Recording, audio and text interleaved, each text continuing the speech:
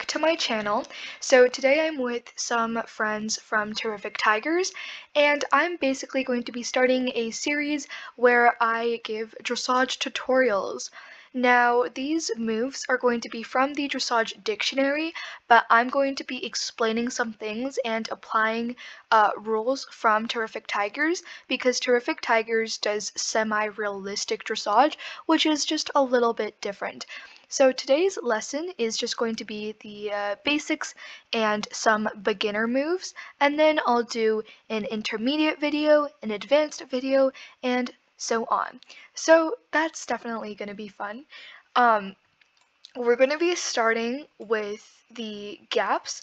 So in dressage, um, we use things called gaps, and the reason we use gaps is because there's something called screen delay, which causes you to look one horse ahead on your screen compared to other people's screens. So as an example, if I'm standing right here on my screen, on everyone else's screen, I'm going to be all the way back here.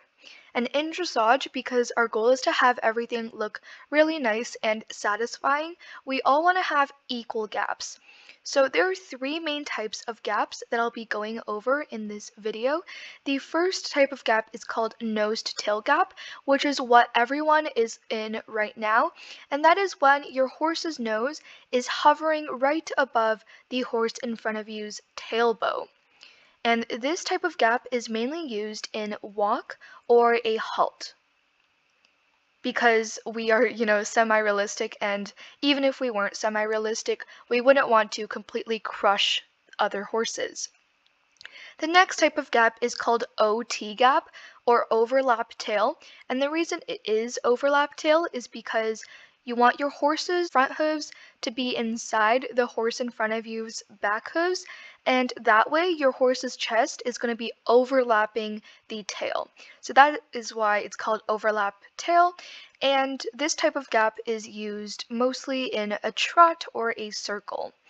But terrific tigers, we don't actually use OT gaps. We use a type of gap called boss gaps, and boss stands for back of saddle. That is when you want your horse's nose to be touching the back of the horse in front of you's saddle.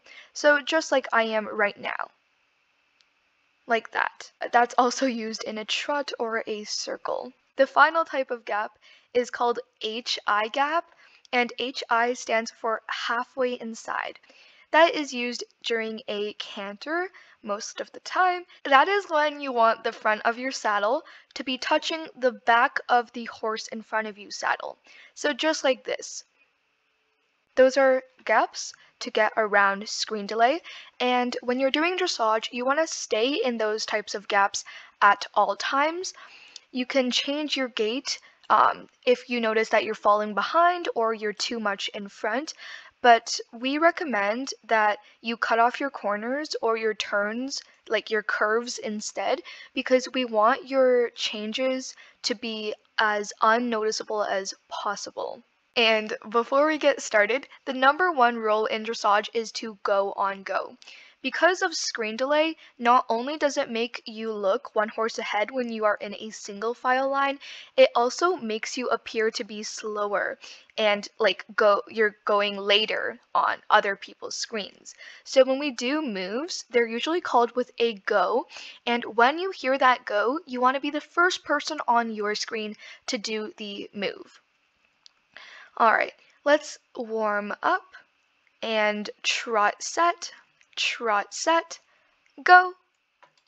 And the reason you want to be the first person on your screen to be doing the move is because on other people's screens, you're going to be looking in time. So right now, everyone should be in boss gaps. And if you see me, I'm currently trying to watch myself to make sure that I am in those gaps. And you can cut off your corner a little bit here to adjust into those gaps. And as you will notice, right here, the riders are not going right up to the wall. On these walls, we want to be um, a whole horse away from the wall because if we were right up against the wall, that would increase our chances of crashing on accident, which we don't want to happen.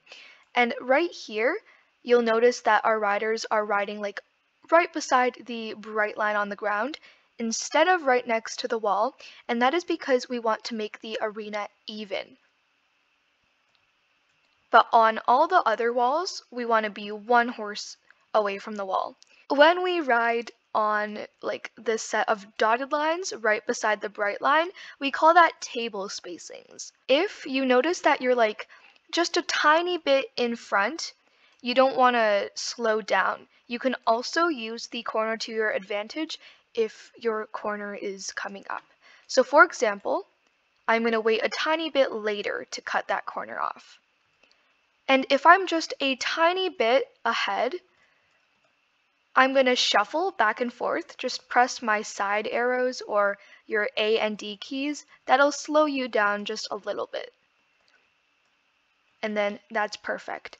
So you want to stay in boss gaps. All right, so we're going to do the first move, which is a curl. Um, a curl is a full individual circle. So it looks something like this. Curl set, curl set, and go. Perfect. All right, so as you can see, all the riders were in time, and it's just a full circle. And then you return to your original track. Let me show you what that looks like in the line, and you're going to see how I'm going to be earlier than all the other riders. And curl set, curl set, go. See if you're early on your screen, on other people's screens, it's going to be on time. The next move is a curl over. A curl over is just half a curl. So you're going to do a little U-turn and you're going to end up heading the opposite way off the original track of where you started. Let's see what that looks like. And a curl over is when every single person does that U-turn at the same time on the same go. So curl over set, curl over set, go. As you can see, they're now um, headed the opposite way. Curl over set, go.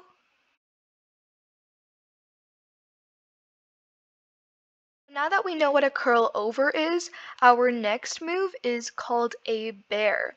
A bear is a curl over, but it's a more like teardrop shape where you're going to return to the original axis. So bear set, bear set, go. You're going to do a little slant and you're going to return to your original line.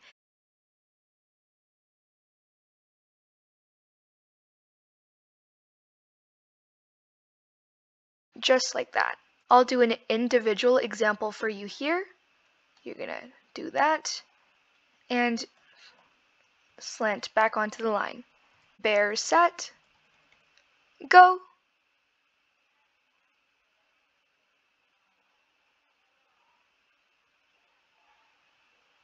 Bear, set, go.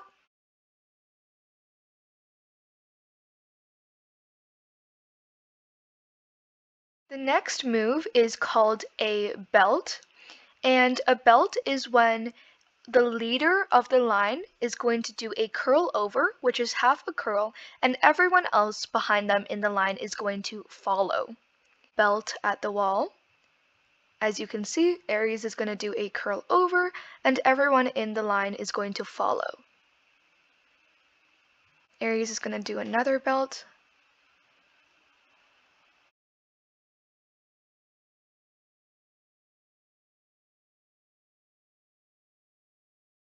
But that is a belt. The next move is a B curl.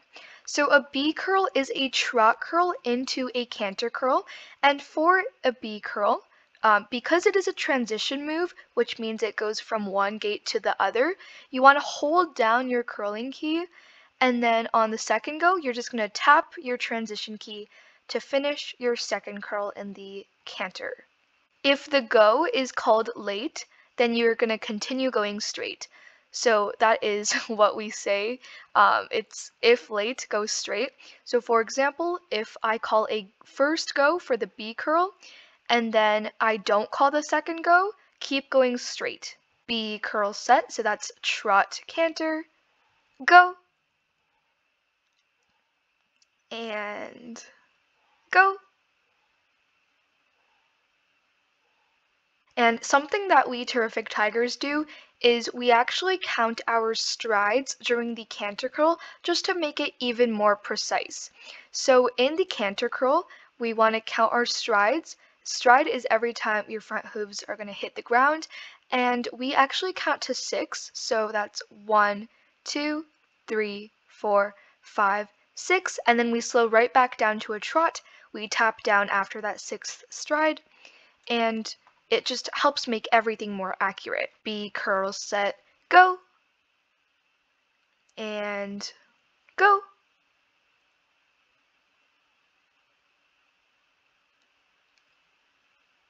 And as you can see here, they are one horse away from the wall. I want to explain something really quick called the butterfly effect.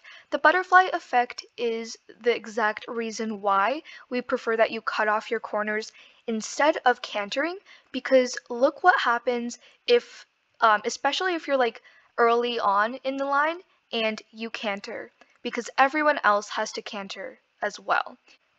See, if Aries canters, then Rav has to canter, then Coco has to canter, and then Haffy also has to canter. And that's not very pretty, especially when you are in a bigger line. The next move is a comb. A comb is an individual cut in the certain direction.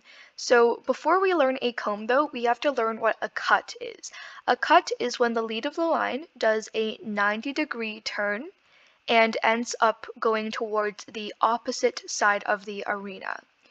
So Aries, when you reach E, you're going to cut to B. And if you see this dotted line that you see on the ground right here, we actually call that the midline. So a comb is an individual cut, and that means that on go, every single rider in the line will cut towards the uh, opposite side of the arena. Comb set go. As you can see, that results in everyone going side by side. Just like that. And while you do your comb, you want to make sure that you are following a line on the arena ground to make sure that you are as straight as possible so it looks nice and that you are not drifting. Since when we are in a comb, we are side by side instead of single file where, where we are like one behind the other, we have to figure out a way to align to. And we want to be perfectly side by side, like you just saw when they did the comb. And what we do to make sure that we are aligned is we do something called comb align. So comb align is when you are going to be one horse ahead of the line leader. If I am trotting in the comb while I'm aligned like this, on the commander screen, I'm going to be right here, and that would be perfect because we would all be aligned. And make sure that everyone is aligning to the line leader, not the person beside them. We're going to trot set, and you're going to see what comb align looks like. Trot set, go. And comb align to Aries. As you can see here, they are nicely side by side. The next move is a triple curl.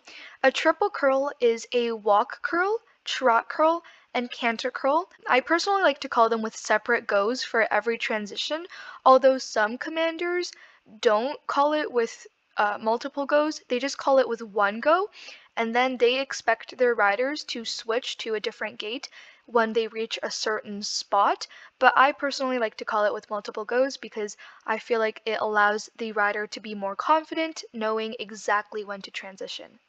Again, that is a walk, trot, and then a canter curl. Triple curl set. Go. And go. And Go.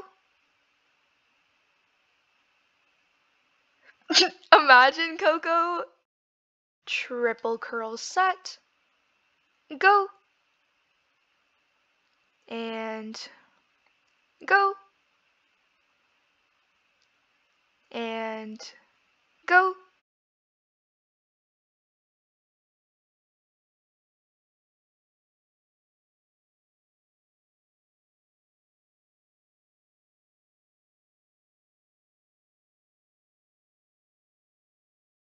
So the next move we're going to do is a delayed triple curl. So that is still a triple curl, walk, trot, canter, but each go is going to be a few steps after completing the curls to give it the delayed effect. A delayed triple curl set, go, and they're just going to keep going straight afterwards, go, and go.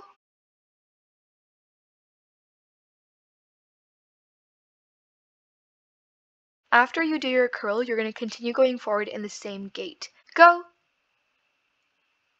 They're going to continue forwards in a walk. And go! Now they're going to trot. And go!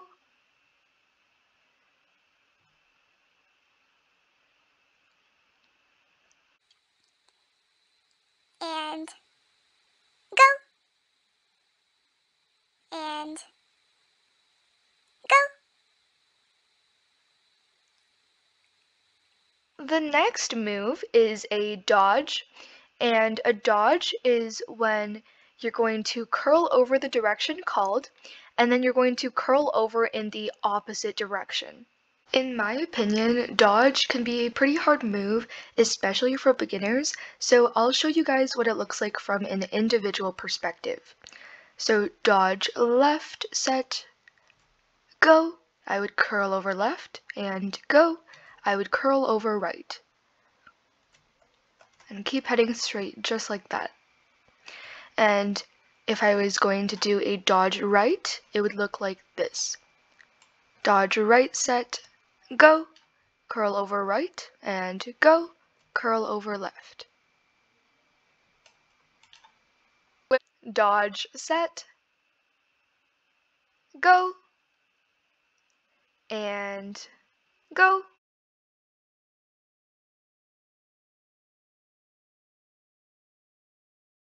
Dodge right, set, go, and go. just like that. So if I call dodge right, they're going to curl over right and then curl over left. It results in you going the same direction, just a little bit off of your original track.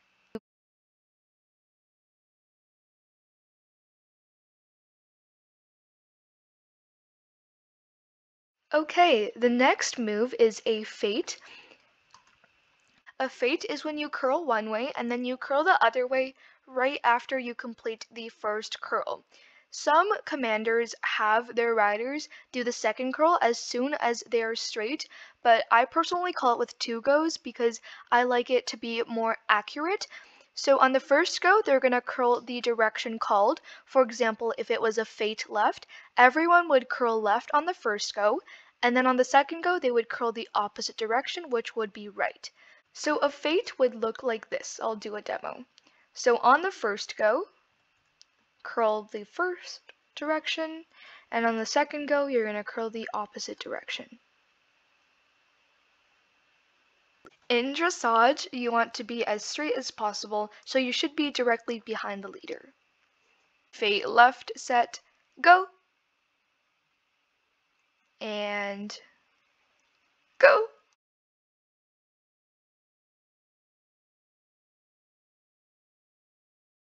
feint right set, go,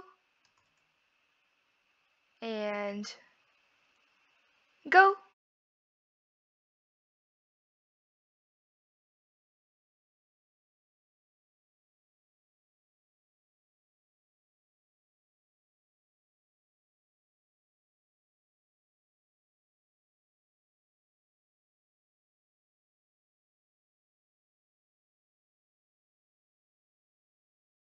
So now I'm going to be talking about numbers.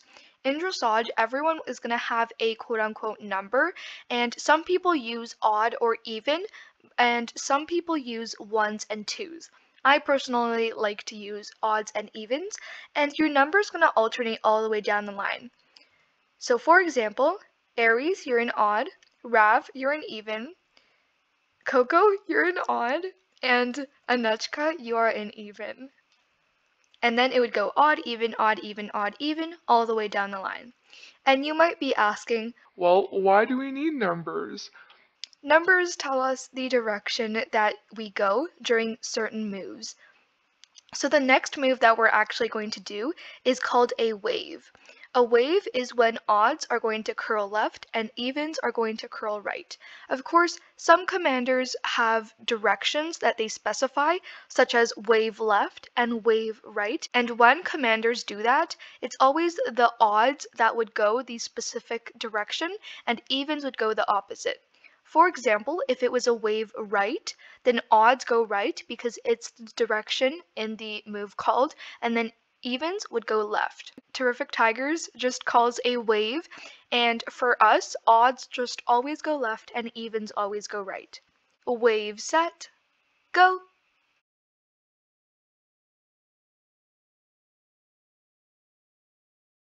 Wave set, go! Notice how they're all on time too. So quirky.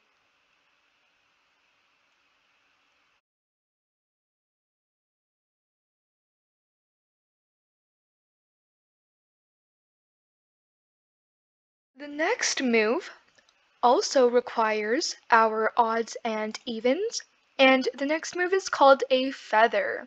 So a feather is when you're in a cut mid or a cut center line. That is when you're going to wave comb away from the axis. So odds are going to go one direction and evens go the opposite. Again, in Terrific Tigers, we don't really specify a direction. We just say feather, and when we don't specify a direction, the defaults are always odds left, evens right. Feather set, go!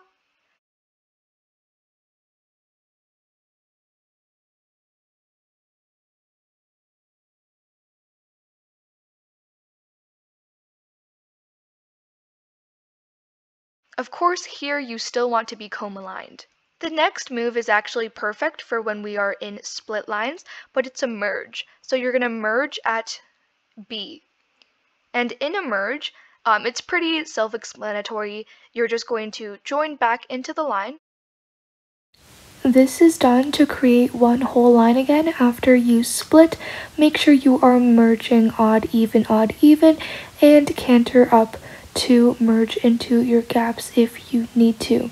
After you merge, of course, you got to go back into The your next original move gaps. is yet another transition move, and it's an I curl. So just a walk curl and then a trot curl. I curl set, go, and go.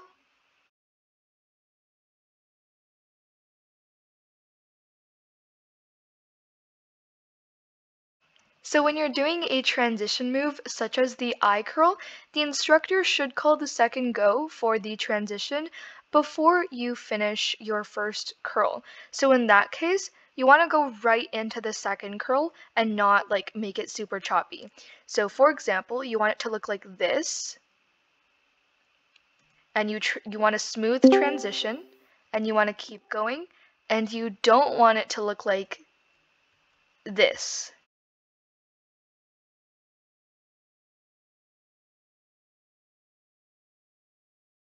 You don't want it to be like that. You want it to be smooth.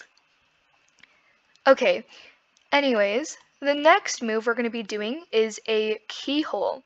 A keyhole is three quarters of a curl and it results in a comb the opposite direction that you curled. For example, it looks something like this. So if I was going to do a keyhole left, I would do three quarters of a curl left and end up combing right.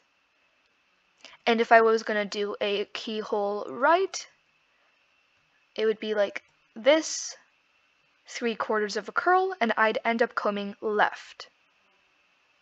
Let's see how that looks like in a line. Keyhole left, set, go. Just like that. And they would make sure that they are following lines on the arena ground and comb aligning at the same time. Keyhole right, keyhole right, go.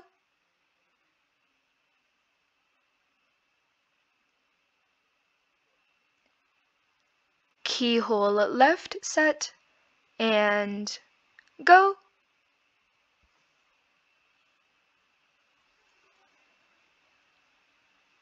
Keyhole right set, keyhole right set, go.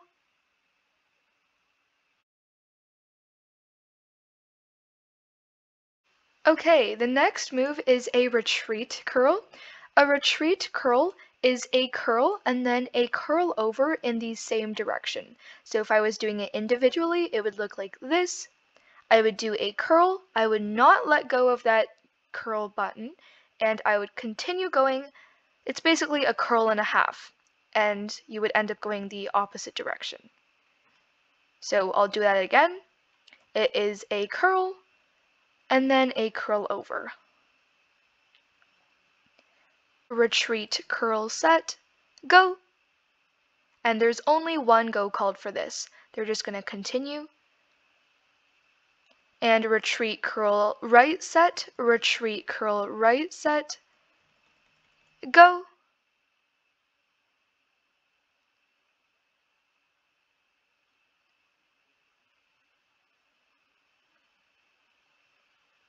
Stem.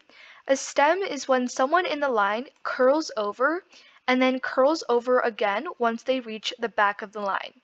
Stem left set, go. So Rav is going to curl over and then curl over again automatically. Stem set for halfie, go. And she's going to curl over again. Okay, so the next move is called thread. Thread does involve numbers, so a thread is when odds will curl on the first go and evens will curl on the second go. Thread set, go, and go. It looks just like that. They're making little circles with each other, and the evens keep moving straight ahead until their go is called. Thread set, go, and go. Awesome. All right. We have five moves left. A twist is a feint wave, which means that odds would feint left and evens would feint right. There would be two goes that apply to everyone, but odds and evens would just be going in different directions. Twist set, go, and go.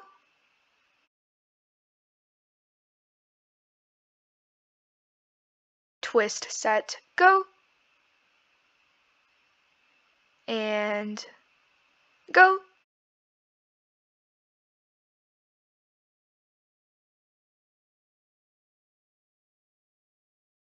So the next move is a waterfall or a belt wave.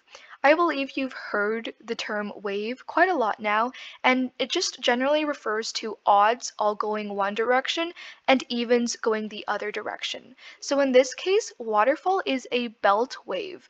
And it actually kind of looks like a waterfall, waterfall at the wall. So odds are going to belt left and evens are going to belt right by default.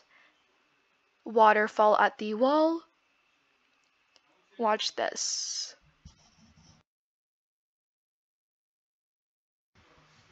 It does look like a waterfall, how the water is just kind of spilling. A waterfall, I believe, is usually called at a wall, but it can be called on go. So waterfall set, waterfall set, go. It's basically the same thing. It's almost like it's called at a wall, but you're just calling it earlier. And rear set, rear set, Go! That was perfect. So that is a rear set, what you just saw. It can also be called X, where on go, everyone will press X to rear as soon as they hear go. Thank you guys so much for watching this video, and of course, thanks to Hilly Darkwolf, Violet, Violet, I can't see your username, stop, Violet Peace Cord, um, oh, Ford, Anechka Steelflight, thank you to you three, as well as Brooke Evening Shovel, and I'm sorry, who, oh, Aries, Cherries, Aries Swift Right, Emily Swift Right, oh my god, I'm so sorry. Anyways, thank you to everyone who helped me film this video. I hope that I was able to teach you and if you have any questions, of course the comment section and stuff are still available. I should be completing this uh, tutorial series sometime. So thank you for watching and I will see you all next time. Bye! Yeah, you should like and subscribe. Imagine happy. Alright. Bye!